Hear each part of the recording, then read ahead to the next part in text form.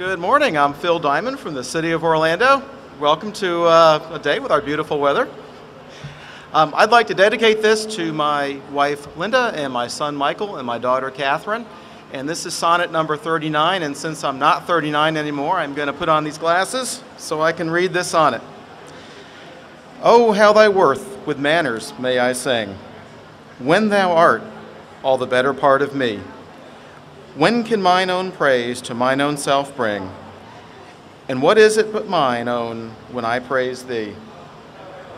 Even for this let us divided live, in our dear love lose name of single one, that by this separation I may give, that due to thee which thou deservest alone.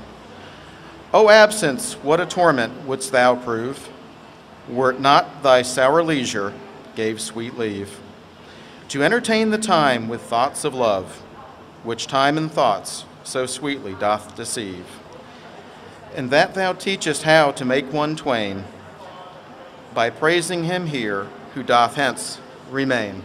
Thank you.